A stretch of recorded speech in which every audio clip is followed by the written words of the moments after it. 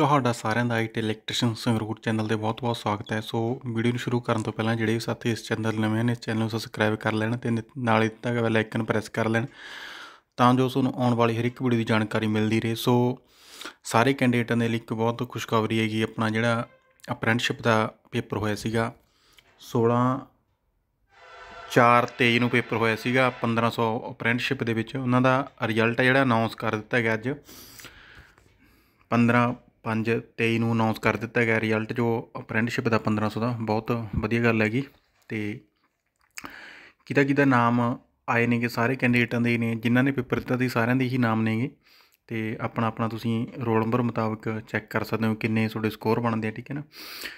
ਉਸ ਤੋਂ ਬਾਅਦ ਚੋਂ ਡਾਕੂਮੈਂਟ ਵੈਰੀਫਿਕੇਸ਼ਨ ਦੀ ਪ੍ਰੋਸੈਸ ਚੱਲੂਗਾ। ਫਿਰ ਜਿਵੇਂ ਅੱਗੇ ਫਾਈਨਲ ਲਿਸਟ ਬਣੂਗੀ ਇੱਕ ਹੋਰ, ਉਹ ਆਪਾਂ ਤੁਹਾਨੂੰ ਜਿਵੇਂ ਜਿਵੇਂ ਅਪਡੇਟ ਮਿਲਦੀ ਰਹੂਗੀ ਉਵੇਂ ਉਵੇਂ ਤੁਹਾਨੂੰ ਦੱਸੀ ਚੱਲਾਂਗੇ। ਫਾਈਨਲ ਇਹਨਾਂ ਨੇ 4 ਪੁਆਇੰਟ ਦੇ ਵਿੱਚ ਕੀ ਲਿਖਿਆ ਕਹਿੰਦਾ ਫਾਈਨਲ ਸਿਲੈਕਸ਼ਨ ਹੈ ਜਿਹੜੀ ਵਿਲ ਵੀ ਕਹਿੰਦਾ subject to submission of correct document correct document ਦੇ ਬਾਅਦ ਚੋਂ ਨਾ ਫਾਈਨਲ ਸਿਲੈਕਸ਼ਨ ਹੋਊਗੀ ਟਾਈਮ ਆਫ ਦਾ ਡਾਕੂਮੈਂਟ ਚੈਕਿੰਗ ਦੇ, ਇੱਕ ਲਿਸਟ ਹੋਰ ਆਊਗੀ ਇਸ ਤੋਂ ਬਾਅਦ ਚੋਂ, ਠੀਕ ਹੈ।